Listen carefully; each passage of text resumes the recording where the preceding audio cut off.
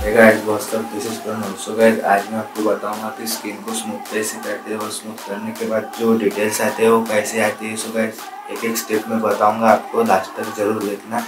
So guys चलिए शुरू करते हैं।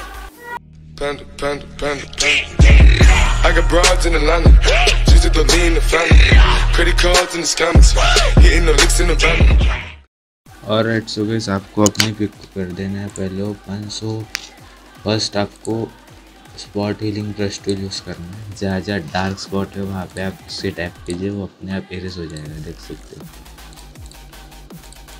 सो सारे इसमें आपको क्लिक कर देना है, जो जो ज़्यादा डार्क है।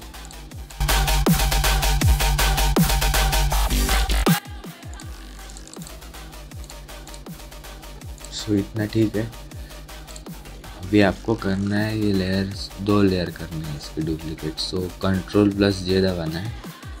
वन टू सो गैस ये दोनों कर देना है invisible so first layer one जो है, उसको आपको करना है फ़िल्टर में जाकर ब्लर गुएशन ब्लर सो मेरे हिसाब से three point five three point something इतना ठीक है। डिटेलिंग नहीं दिखनी चाहिए। यहाँ देख सकते हो।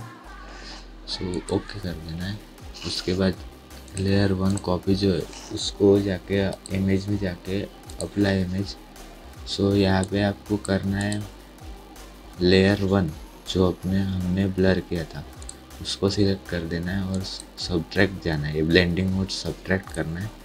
और ये सेटिंग जो ऑफसेट है, वो दो रखना है। ऑफसेट सॉरी स्केल टू रखना है and offset one two eight रखना है। सो इसे कर देना है। ओके सो ऐसा कुछ दिखेगा।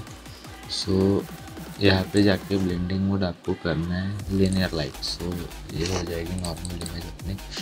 सो इनविजिबल कर देना है इसको. और जो लेयर वन है ब्लर किए थे आप उसको जाके आपको मिक्स ब्रश टूल यूज़ करना है. सो आपको इसको करना है अभी फिक्स रिटच कर देना है पूरे स्किन पे देख सकते हो.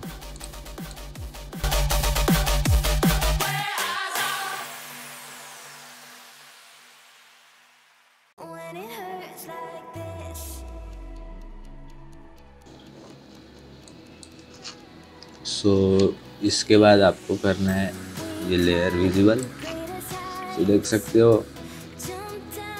स्किन काफ़ी स्मूथ भी हो गया और डिटेलिंग्स भी काफ़ी हद तक अच्छी है। सो so, गाइस ये रही पहले की पिक और ये आफ्टर रिटच और राइट सो गाइस जैसे कि आपने देख लिया होगा, मैंने कौन सी कौन सी स्टेप यूज़ की और अभी तक आपने मेरे को इंस्टाग्राम को फॉलो किया नहीं तो जाओ जाके फॉलो करो, काफ़ी क्रिएटिव करके वहाँ पे आपको देखने को मिल जाएगी hope you guys enjoy this video and make sure to subscribe to channel see you in next video bye bye